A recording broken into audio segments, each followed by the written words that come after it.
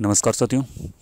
साथियों, Rajasthan police admit card में, जो एडमिट कार्ड से रिलेटेड एक लेटेस्ट अपडेट निकल कर सामने आ रही है और हो सकता है उसका आपको मालूम भी हो।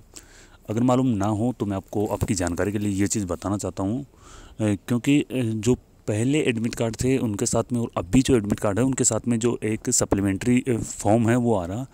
तो सप्लीमेंट्री फॉर्म का क्या है? बहुत से लड़के तो इसे यूज़फुल समझ नहीं रहे कि पता नहीं ये ज़रूरी है कि, या नहीं है, लेकिन उसमें लिखा हुआ कि परीक्षार्थी इसे ज़रूर भरे और इसमें कोविड से संबंधित दिशा निर्देश दिए गए हैं। और दोस्तों, ये अगर आप नहीं लेके जा रहे हो तो आपको एग्ज़ाम सेंटर में कहीं ना कहीं परेशानी का सामना करना पड़ सकता है, क्योंकि ये कंपलसरी है, ये भरना ज़रूरी है। और अगर ये नहीं भर रहे हो तो एग्ज़ाम सेंटर में आपको घुसन नहीं दिया जाएगा। इसमें कुछ नॉर्मल सी इन्फॉर्मेशन है, वो आपको भराई जाएगी। और अगर आप आज ही इससे निकलवा लेते हैं तो वो बेस्ट रहेगा। और अगर आज नहीं निकलवा पाते हो तो ये कल तो फिर क्या है कि आपको भागा दौड़ी करनी पड़ेगी, आपको अपने एग्ज़ाम सेंटर तक पहुँचना होगा। और दोस्तों, ये सारी चीज़ें आपको है, संभाल के रखनी है, जो भी दिशा निर्देश दिए गए हैं।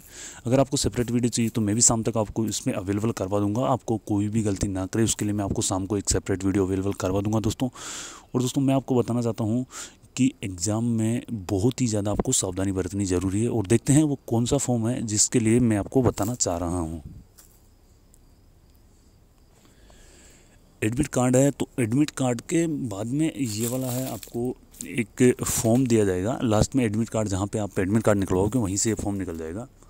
तो इसमें है कोविड नाइन्टीन से संबंधित जो जानकारी दी गई आपको नॉर्मली वो भरनी है, और इसको आप यूजफुल समझें। बहुत से स्टूडेंट इसे यूजफुल नहीं समझेंगे, और वो इसे लेकर नहीं जाएँगे। तो लेकर नहीं जाएँगे तो एग्ज़ाम में आपको प्रवेश नहीं दिया जाएगा।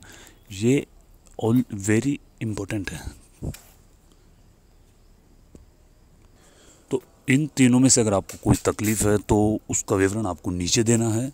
और सबसे पहले तो आपको इसमें पूछा गया है कि आपको खांसी, बुखार या सांस लेने में कोई तकलीफ़ है। सेकंड में आपको पूछा गया है कि आपको यहाँ पे विगत तीन सप्ताह में कोविड पॉजिटिव आप है तो वो भी आपको विवरण देना है। और लास्ट में यहाँ पे पूछा गया है कि मुझे वर्तमान में सैनिटाइज़र, आइसोलेशन की सलाह लागू नहीं है तो ये तीन फॉर्मल नॉर्मल सी बातें हैं तो ये आपको याद रखना भी ज़रूरी है।